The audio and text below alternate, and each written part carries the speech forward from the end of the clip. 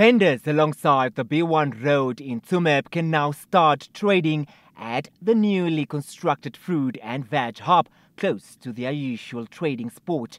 What we want is to encourage our people to do business, more especially this one. The open market is one of the most important business. People can make good money out of this.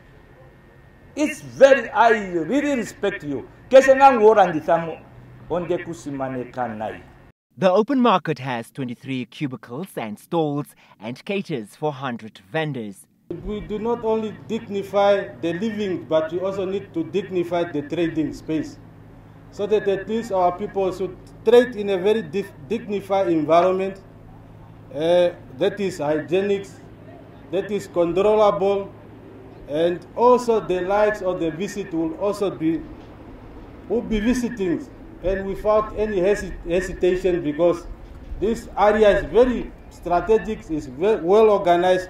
The market was constructed by the Dundee Precious Metals Community Trust, Tsumeb Municipality and CENORED. The Dundee Precious Metals Community Trust have provided over 1.7 million Namibian dollars for the completion of phase one.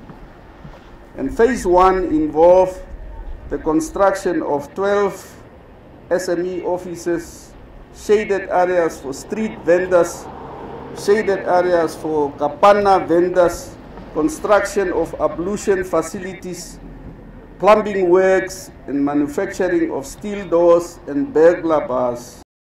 Tsumeb municipality spent more than $1.5 million to complete the second and final phases while CENORED electrified the Tsumeb Fruit and Veg Hub.